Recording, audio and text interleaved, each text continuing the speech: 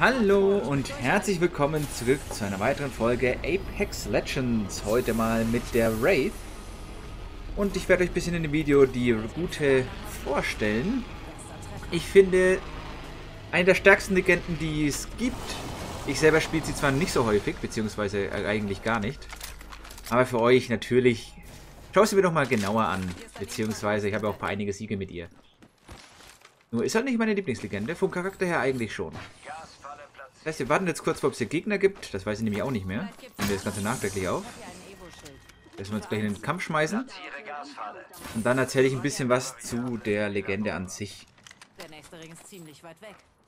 Gut, scheint nicht so zu sein, also dann. An sich, wie jede Legende, Wraith zwei Fähigkeiten, zwei aktive, und zwar einmal in die Leere gehen mit LB oder halt mit der PC-Taste.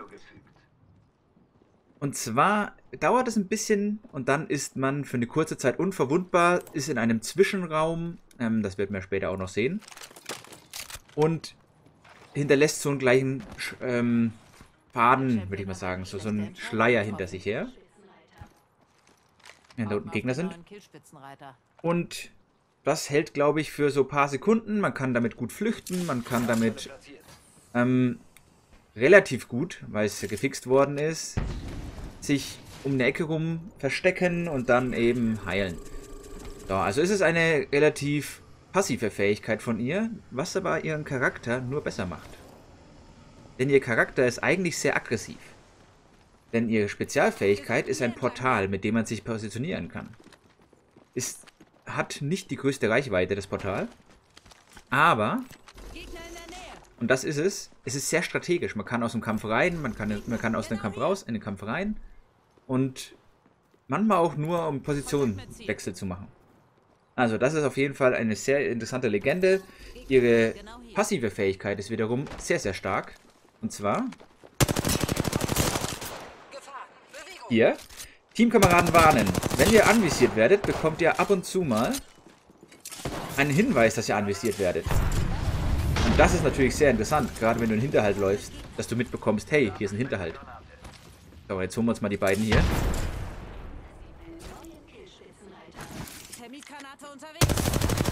Termit erwischt. Lila Rüstung, die hätte ich gerne. Goldenes Knockdown-Schild. Lila Rüstung, kann man mal machen.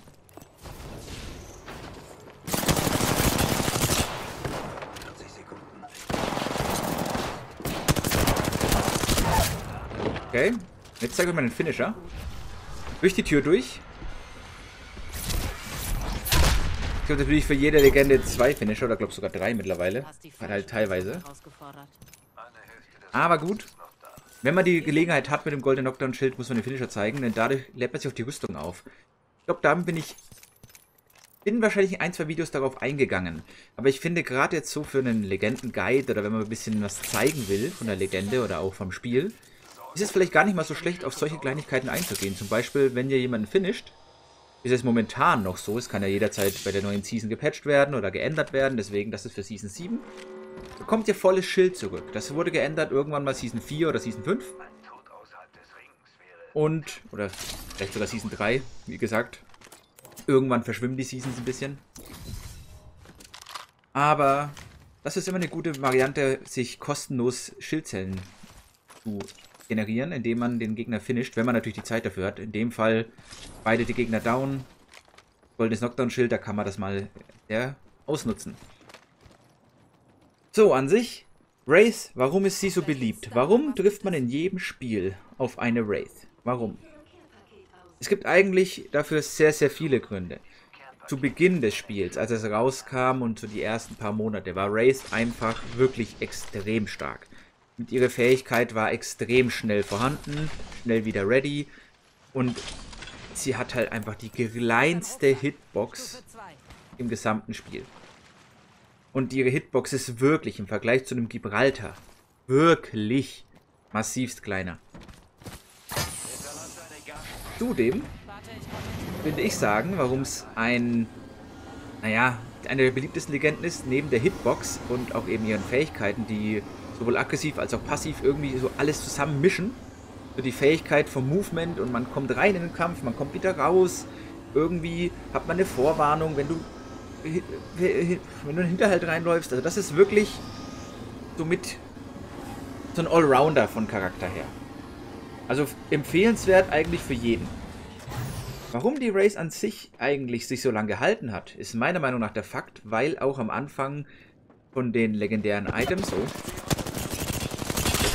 Nächster Gegner. Oh, der hat 1 HP. Uns schnell.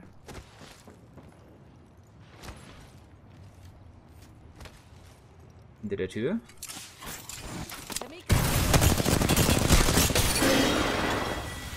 Ähm, warum sie sich so lange gehalten hat, ist einfach der Grund, auch mit dem legendären Messer, das sie hat. Ja, das gab es relativ früh. Das heißt, viele haben sich vielleicht das irgendwie noch, sage jetzt nicht erkauft, aber halt durch die Packs das gezogen, das bekommen.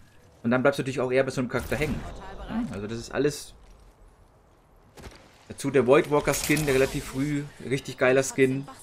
Es kann auch optische Gründe haben, aber auch an sich vom, vom Gameplay her ist sie eigentlich immer unter den Top-Legenden.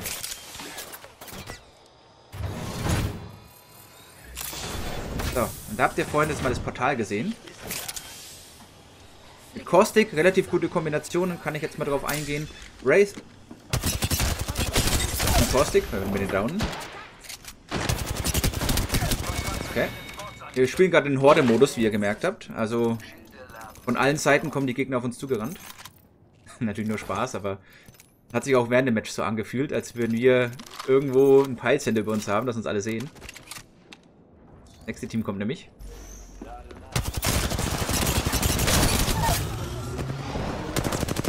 Nächste Team down. Also Race ist wirklich an sich lohnenswert für jeden, der versucht ein bisschen zu hard tryen. Ne? Also immer eine gute Legende, jede Season. Spielt sich schnell, flüssig. Kleine Hitbox. Top. Aggressiv, passiv. Je nachdem, was man braucht. Coole Sprüche auf Lager. Und immer Gegner um sich rum. Da kommt ihr Special.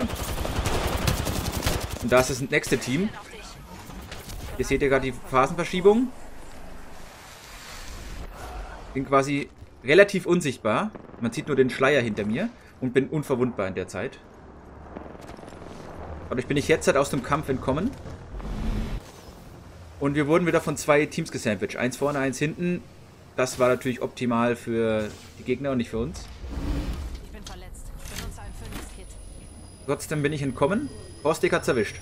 Kostik Hose Hitbox, Kostik keine Fähigkeit zum Entkommen. RIP. Na? Das muss man jetzt ganz klar mal sagen in der Situation. Wenn ich jetzt halt nicht in der Race gewesen wäre, oder mal wegen Pathfinder, Octane, irgendwas, irgendwie Horizon, der irgendwas, das eine Fähigkeit hat, zu entkommen, wäre das schwer geworden, sich aus dem Kampf rauszuziehen.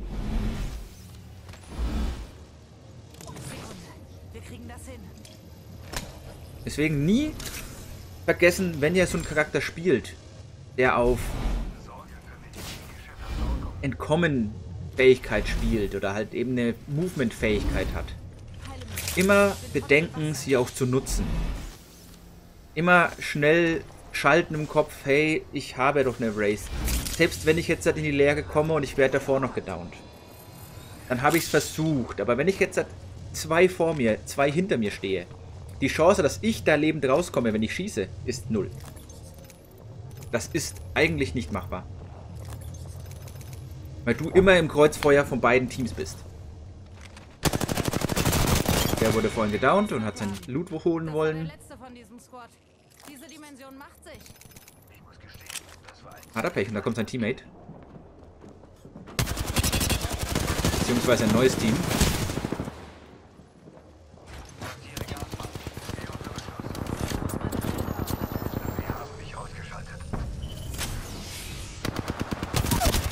Der Octane war zu gierig. Hätte sich lieber heilen sollen. Ein Einser-Scope. Auch geil.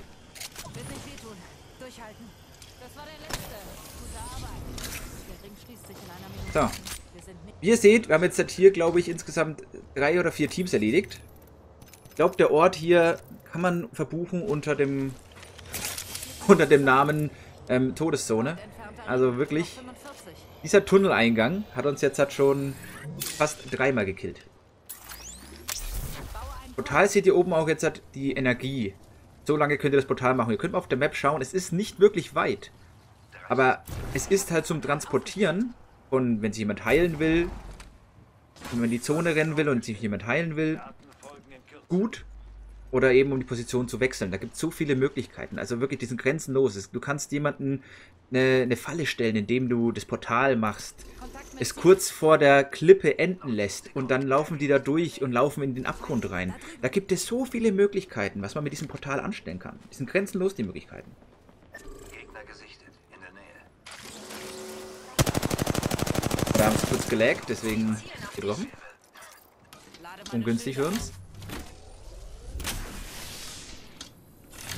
Was aber auch noch ein richtig cooler Fakt ist, den man nicht vernachlässigen darf. Hier wird er damit ziemlich nicht treffen. Steht 25 Sekunden, bis ihr es wieder einsetzen könnt. Also es ist wirklich... Wenn jetzt ein gegnerisches Team auf uns zukommt, weder Portal noch ähm, meine Unsichtbarkeit, nenne ich es jetzt einfach mal, die Phasenverschiebung, haben wir ein Problem. Und wie gesagt, wir spielen den Horde-Modus in dem Match. Alle gegen uns. Und jetzt passt mal auf. Hoppala. Ups. Da war die Kante ein bisschen nah, aber noch gerettet. Katzenhafte Reflexe noch im Sprung gemerkt. Warte mal, da ist ein Abgrund. Und nach links gedreht. Pathfinder wäre easy noch rausgekommen. Mit seinem Haken. Lober vielleicht noch, aber naja. Sowas passiert halt auch mal. Jetzt seht ihr auch noch was. Wenn ihr euer LB-Special in der Zone macht, kriegt ihr von der Zone kein Damage. Unten links. Auch sehr sinnvoll und gut zu nutzen. Als Race kann man dadurch ein bisschen länger in der Zone bleiben als ein vergleichbarer anderer Charakter. Auch hier konnte ich das schön zeigen, absolut absichtlich. Ne? Nur für euch habe ich das gemacht. Nein, es war äh, situationsbedingt. Ihr seht ja quasi, ich versuche in dem Spiel möglichst darauf einzugehen, ähm, euch nicht irgendwie Zeug zu zeigen, wo ich dann selber nicht spiele weil das bringt euch nichts. Wenn ihr das Video schaut, weil ihr ein bisschen Tipps wollt, weil ihr ein bisschen Tricks sehen wollt, weil ihr vielleicht ein bisschen nicht ganz genau die Legende wisst, euch mal die Legende anschauen wollt, weil ihr sagt, hey, Race gefällt mir eigentlich, aber wie spielt man sie denn? Dann möchte ich euch halt mit diesem Video so eine Grundlage geben, hey, so spiele ich sie. Und so klappt es dann auch. Deswegen suche ich auch eine gute Runde raus, damit ihr seht, hey, wenn ihr so spielt wie ich in diesem Moment, wie die Entscheidungen, die ich in diesem Moment treffe, dann kann das für eine super gute Runde oder für eine ordentliche, starke Runde reichen, für einen Sieg etc. Und das will ich halt mit der Legende vermitteln. Zum Beispiel kann man natürlich ganz, ganz anders Race ausspielen. Man kann sie viel, viel passiver spielen, viel, viel aggressiver. Man kann sie komplett um 180 Grad drehen und sie spielen eben mit diesem Trollmodus. Sprich, man macht die Portale so hin, dass die Gegner durchlaufen und daran sterben. Dass man einfach nur darauf wartet und sagt, hey, man kann Leute in Falle mit dem Portal locken. Das ist nicht mein Spielstil. Ich benutze das Portal sehr gerne für Transportation, also trans dass ich meine Teammates transportiere und um aus kniffligen Lagen rauszukommen. Deswegen benutze ich das Portal relativ selten, nur in wichtigen Momenten, weil es ja doch relativ lang braucht, wieder sich aufzuladen. Und zum Portal auch noch ein Fun Fact, beziehungsweise kein Fun Fact, sondern normaler Fact. Wenn ihr das Portal aufgestellt habt, ich weiß nicht mehr genau die Prozentanzeige, aber ich glaube bei 35%, da ich kein Race Main bin, bei 35%, wenn es sich wieder aufgeladen hat, verschwindet das Portal. Also das Aufgestellte. Sprich, ihr macht das Portal. Es steht. Und dann schaut ihr unten auf eure Prozentanzeige und habt einen Timer, der runterläuft, bis wann ihr durch das Portal durch könnt. Das ist auch wichtig zu wissen. Weil es gibt nichts Schlimmeres, als im Kampf zu sein. Zu sagen, ja, ich kann ja jederzeit durchs Portal flüchten. Ihr kämpft, ihr werdet fast gedownt. Und dann, wenn ihr zurücklaufen wollt, ist das Portal weg. Drei gegnerische Teams noch. Jetzt mache ich das Portal quasi, um in den Kampf reinzukommen. Problem ist nur, die Gegner über das Portal drüber gelaufen sind und man hier nicht so schnell hochkommt. Das ist jetzt ein taktisches Portal zum Rückzug und zum Angriff. Und ihr könnt mal unten drauf achten, wann das Portal auf der Map verschwindet mit der Prozentanzeige.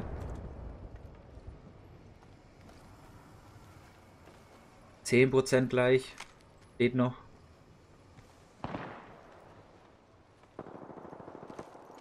Und da mischen wir uns natürlich ein in den Kampf. Jetzt zwar relativ nutzlos. Aber es hat uns zumindest vor dem Airstrike äh, geschützt, in dem wir zurückgelaufen sind.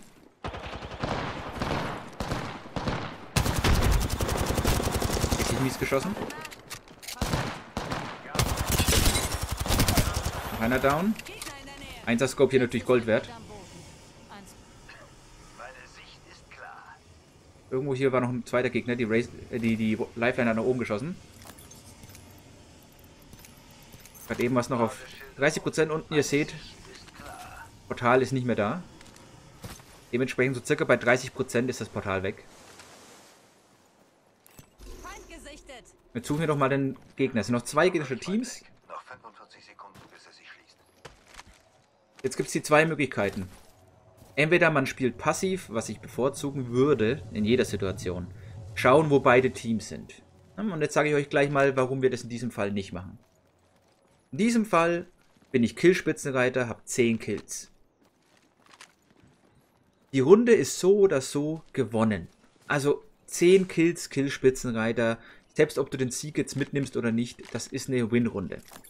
Dementsprechend kann man also wenn natürlich den Sieg wichtiger ist als zum Beispiel jetzt halt meinetwegen.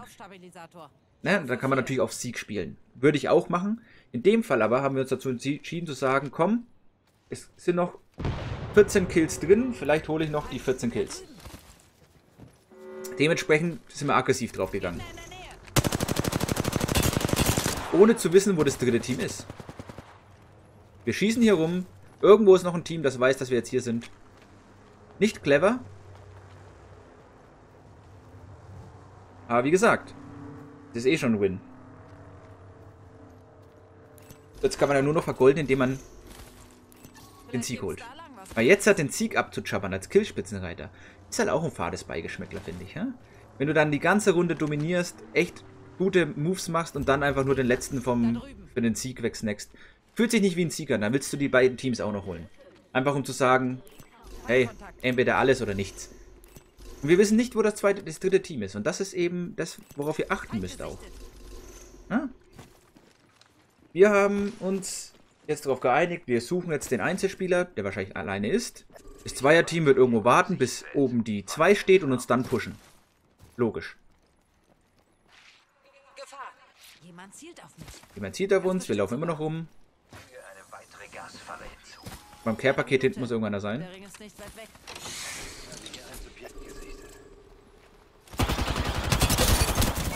Haben wir. Forstig ist fast down. Und genau jetzt kommen sie nämlich. Da oben sind sie. Wir haben keine Deckung.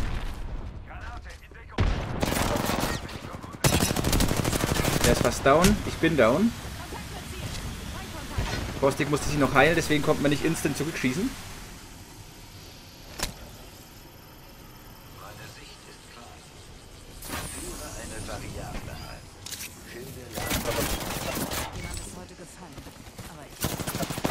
Da hätte ich meinen Stärken noch benutzen können, aber es hätte auch nicht wirklich geklappt.